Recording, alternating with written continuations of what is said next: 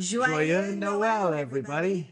So, welcome to day three of our year end recap for 2022.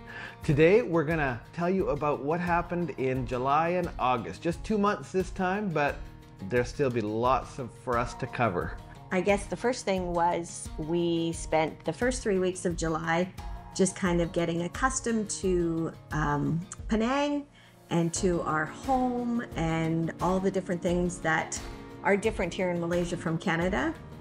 We are getting used probably most of all to the heat. Well, the heat and but more so the humidity. Humidity for sure. We had a wonderful host family from Dalat who would take us out and show us the grocery stores that would be best for us. Um, Took where us to to the go. mall the first time. Yeah, went to the mall, the market, showed us around some foods that we may or may not like.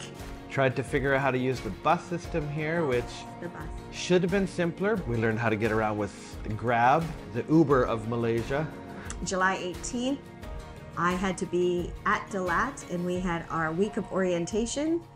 I attended with Pam for the first couple of days because they were talking about general stuff about Malaysia. I did enjoy uh, getting to know some of Pam's coworkers and also some of the activities we got to do with the school. We got to go uh, on a scavenger hunt down in Georgetown. You may remember a video we had way back then, just us scooting around down there. Uh, we got to go out to Batu Ferringhi and discover Sizzling chicken. Yes, sizzling chicken, one of our our favorite places to eat. Right. We also went to the Tropical Spice Gardens where we had a wonderful tour of all the different plants and things and uh, saw some of the animals of Penang, including a monitor lizard, which are relatively harmless, and a lovely viper curled up in the gazebo.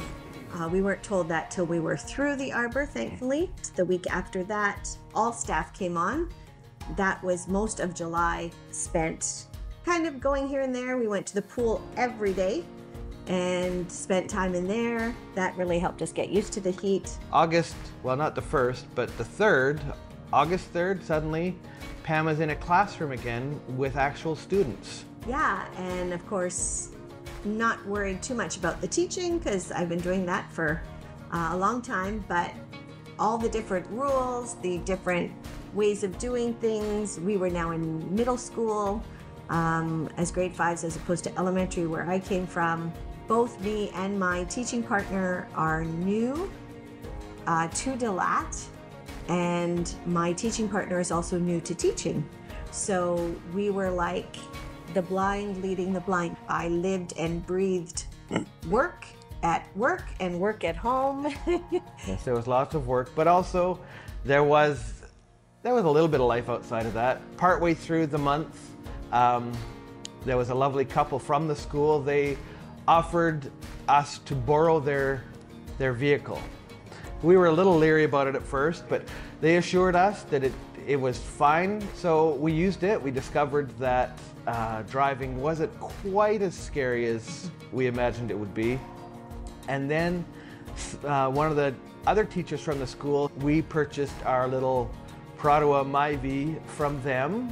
Uh, that was right the last half of the, the month of August. We, we got that. And um, once we'd gone through all the the process of doing all the yeah we yeah, it involved a, a half a day trip with me and the gentleman who we bought the car from down to to the, the vehicle licensing licensing office. But fortunately, they they were very helpful there, very helpful. And so then we owned a car, and uh, so now we've been driving that around since then. We've driven it around the island, like literally. We've taken a, a, a day trip driving a, a, all the way around the circumference of the island. And we also took it, and we'll tell you about it later, where we drove down to the city of Ipoh in October. And so it's been a great little find for us, and we enjoy driving it around. And we ended August on a little bit of a high note because we were given the news and sworn to secrecy um, that Johnny and Natasha, Colin's youngest son and daughter in law, were going to have a baby. Johnny, he says, "Do you have any limes?"